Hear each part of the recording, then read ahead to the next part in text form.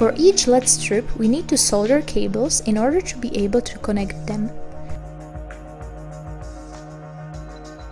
We use cables 0.5 mm squared thick. The manufacturer usually provides information on the LED strip to instruct which color goes to which contact and where is the plus.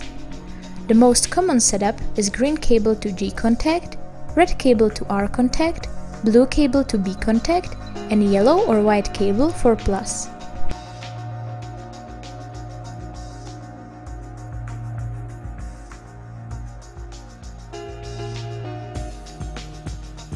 We need to be careful for contacts not to connect with each other.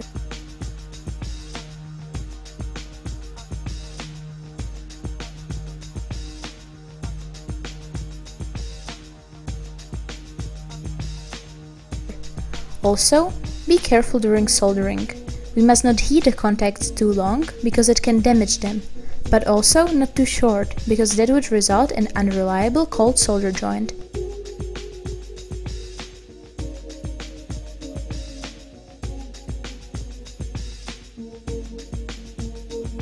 Soldering LED strips requires a lot of skill and experience in soldering.